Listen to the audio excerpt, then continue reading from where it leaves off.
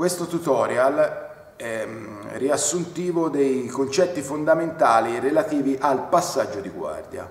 Passare la guardia, io lo dico sempre, è un'arte nell'arte, in quanto rappresenta il momento di scontro, eh, passaggio contro la guardia, tra due persone edotte al jiu-jitsu, quindi due persone che hanno una tecnica.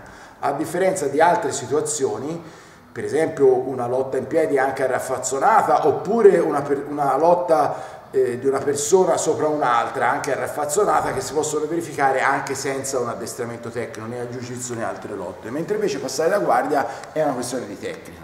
Per cui in questo video illustrerò eh, eh, i principi eh, fondamentali e basilari che riguardano il passare la guardia. In altri video poi andremo a esemplificare le varie tecniche di passaggio di guardia.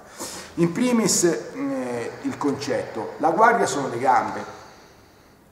Quando eh, Alessandro si dice fa guardia o usa la guardia, significa che lui usa le gambe contro le mie braccia nel mio tentativo di, di superare questo sbarramento e di andare in una posizione di dominio, per esempio di lato.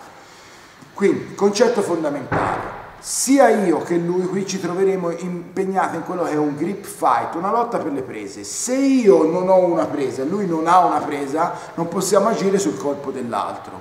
Quindi all'interno di questa lotta, che è già il passaggio di guardia, è una, una tecnica dentro la tecnica, un'arte nell'arte, esiste l'arte all'interno dell'arte che è all'interno dell'arte, cioè la tecnica di, di, di mh, avere delle prese efficienti. Quindi in questo caso eh, l'obiettivo di me che sono il passatore, cioè la persona che deve passare la guardia, è avere una postura del corpo efficiente e le mani in una posizione neutrale ed efficiente. Quindi cosa vuol dire? Innanzitutto non posso eh, eseguire i due errori fondamentali di chi non sa passare la guardia. Provare per esempio a finalizzarlo, cosa impossibile, perché io gli regalo le braccia sia così con uno strangolamento che con una leva, non, non ho la, la posizione per farlo, secondariamente non devo facendomi prendere magari dal nervoso, da appoggiare le mani dove non devono stare in terra. Quindi, qual è la regola? Le mani devono stare all'interno del rettangolo ostruito dalla linea dei pettorali su per giù fino all'ascella e il bacino. Quindi la zona del busto. Mettere le mani qua non ha senso, io non riesco a fare niente. Per iniziare perlomeno, poi nel proseguo possono verificarsi varie situazioni. Quindi lotta per le prese, per esempio se lui ha una presa che mi domina, prima di provare a passare, dato che io non ho un controllo su di lui, è interrompere questa presa e mettere una presa eh, sul suo corpo che sia efficiente, per esempio una presa a pistola, come si chiama questa. Un altro dettaglio è estremamente importante non perdere l'equilibrio del corpo. Io non mi devo appoggiare né indietro né avanti e perdere la postura perché in questo caso io non ho efficienza meccanica per eseguire dei movimenti. Ultima, ultime due cose che vorrei dire che poi comunque verranno esemplificate in tutta una serie di video. Nel passare la guardia mi devo concentrare su due cose. Innanzitutto quale lato?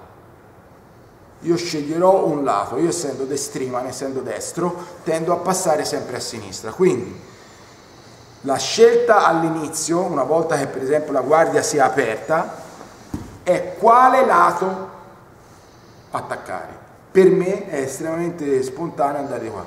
A quel punto ho, sono eh, fortemente incentivato a usare due mani su una gamba e non giostrare due su due per tutta una serie di ragioni. La principale, e che poi ha una serie di applicazioni specifiche, è che le gambe sono molto più forti delle braccia. Anche se lui schiena a terra la gamba sua è più forte, quindi io mi trovo a fare una presa non efficiente.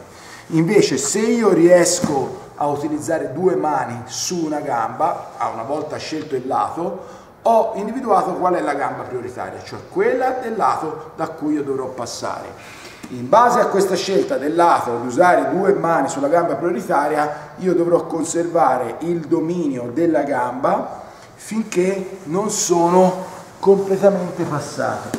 A questo punto ora posso lasciare la gamba perché io ho stabilito una posizione di dominio, vuol dire che il mio baricentro schiaccia il suo, il suo corpo.